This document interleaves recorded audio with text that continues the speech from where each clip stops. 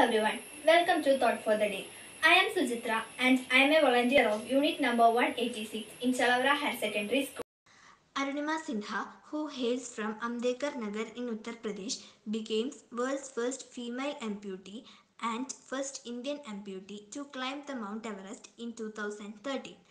Arunima's entire life changed drastically on a fateful day in April 2001. She lost one of her legs as she was thrown off the moving Padmavati Express by some robbers. She was on her way for a job interview in CISF. It was after this incident, when she was recovering, that Arunima decided to become a mountaineer and scale the highest peaks in the world.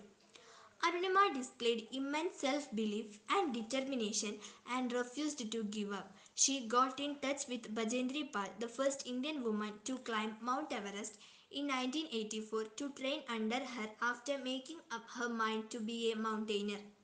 After climbing Mount Everest, her next goal was to climb all the seven highest peaks in all seven continents and reached the summits of six peaks by 2014.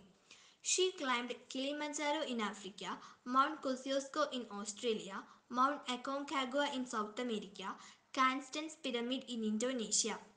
On January 4, 2019, she climbed the seventh peak on Antarctica, became world's first female amputee to climb Mount Vinson. In 2050, Arunima was conferred the Padma Shri, the fourth highest civilian honor in India. In the same year, she also received the Tenzing Norgay National Adventure Award.